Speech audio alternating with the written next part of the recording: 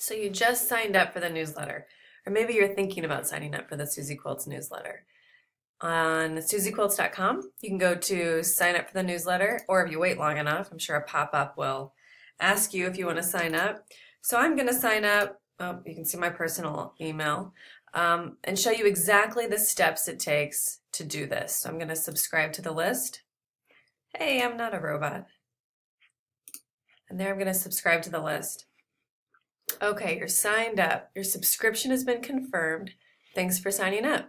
Click here to get your free quilt pattern.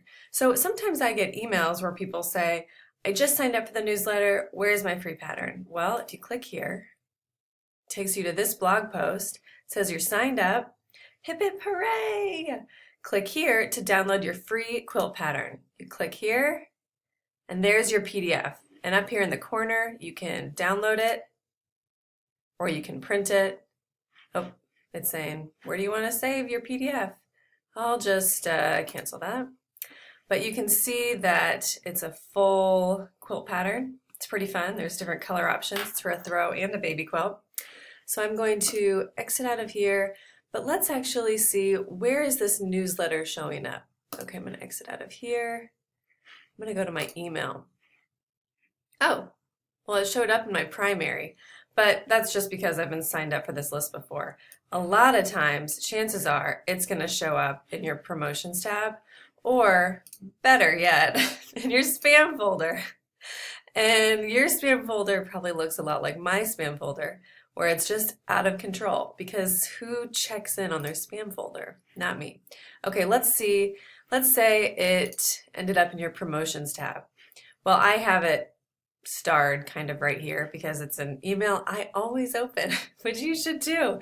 But if you just can't find it because your promotions tab again looks like my promotions tab, which is everything from Pizza Hut to The Gap to who even knows, you can do a search. Suzy Quilts. I hit enter and what happens?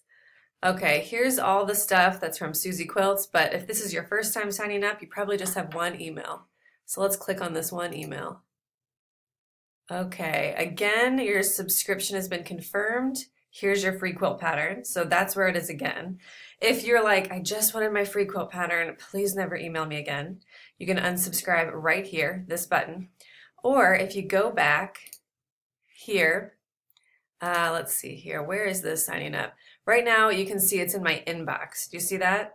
I can click X if I really don't want that in my inbox over, let's see, is it in my promotions tab? What I'm saying is, in this tutorial, you can drag and drop anything anywhere. So I can drag and drop this conversation into my inbox. Right here, let's see, did it work? Oh, here we go. I can drag and drop here into my inbox. Cool. And from here on out, it's going to show up in my primary inbox account. If it doesn't, you can drag and drop one more time and it will ask you in your preferences, hey, do you want this conversion to be permanent? And you can say, yeah, I really want this email to always show up in my primary. Um, another FYI, it can show up in your updates. It can show up again in your trash, or not in your trash, in your spam.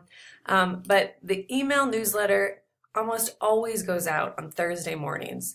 So if Thursday afternoon, Friday morning rolls around and you're not getting it, I would just do a search because it's probably lost somewhere in your email. You could do a search, or if after doing a search you still can't find it and you're like, I really want that newsletter, which is a great response, you can email me at Suzy at suzyquilts.com. Or, here we go, at info I'm not a great typer. so one of these two right here, Suzy at suzyquilts.com or info at suzyquilts.com. And I will double check my newsletter subscription list. I'll make sure you're on it and I can even send you one personally. I mean, maybe just once, maybe not twice every week. But if you have any more questions about where to find the newsletter or how to subscribe, how to unsubscribe, uh, always feel free to email me to send me a message on Instagram, which isn't as reliable as email, but you can try and do that. And I will get back to you as soon as possible. I hope you have a great day and I hope that was helpful. Bye.